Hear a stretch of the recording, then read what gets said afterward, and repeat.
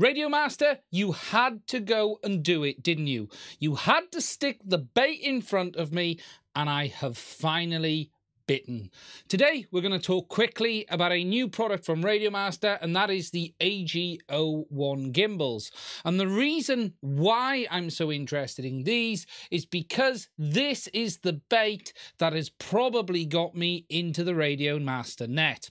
Anyway, let's get on with it and let's take a look at what this is all about. So today Radiomaster have released the much hinted at AG01 mini gimbals. These are smaller versions of the AG01s that are designed for use with this, the TX16.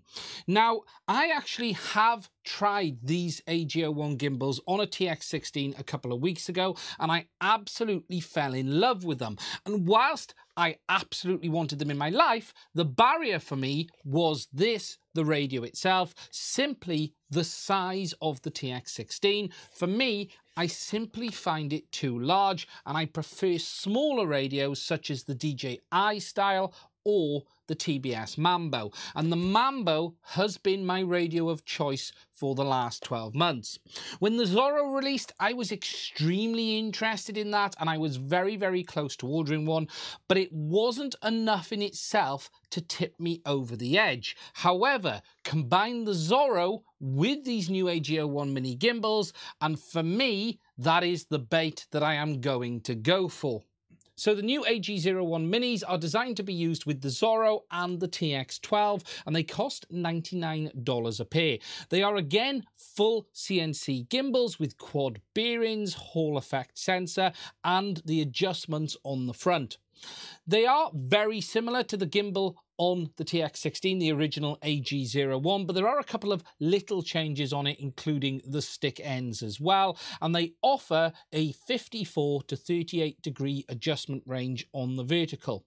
Now, I don't have a set, so I would suggest you check out a couple of reviews on them if you want to go and have a look. I watched Painless 360s earlier. It is worth checking out. I'll actually put a link to Lee's video in the description of mine if you want to see an actual review on it, because he's actually taking them apart on a Zorro and putting them in, so it's worth having a look.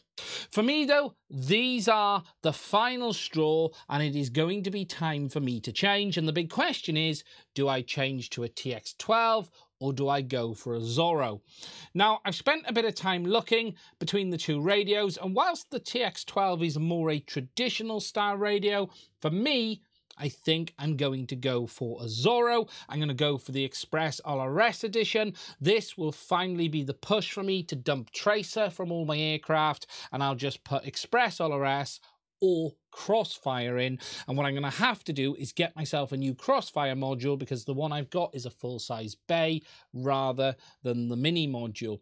However, for me, this is enough of a push to get me over because I'll be honest, I have been waiting for this to make the jump. So this is going to be the push that I have needed. Now, what is interesting is we do have a set of gimbals here that cost pretty much the same amount of money as the radio itself. So when you combine them together, you're turning it from a $99 or so purchase up to a $200 purchase.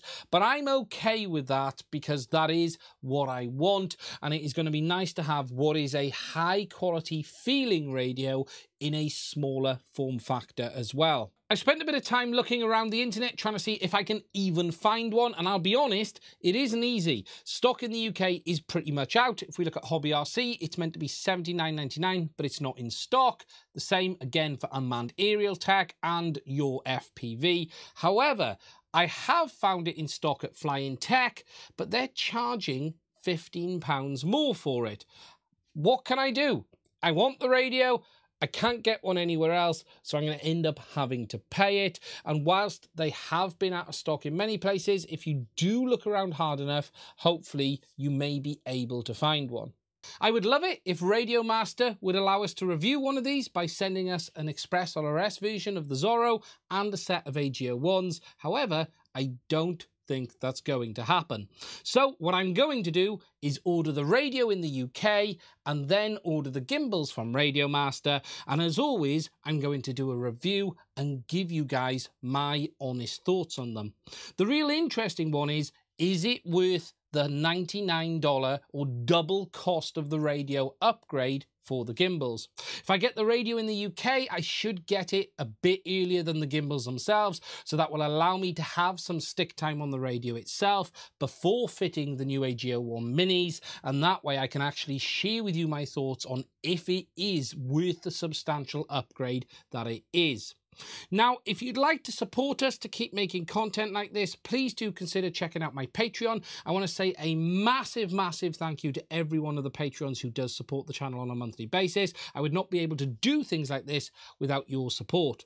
I'd also like to thank everyone that uses Buy Me a Coffee as well, who'd like to support us on an individual basis. Again, the money does not go to waste. And again, a massive thank you from me. So Radiomaster laid the bait and I got hooked. I'm in the landing net. The question is, will I make it to the keep net?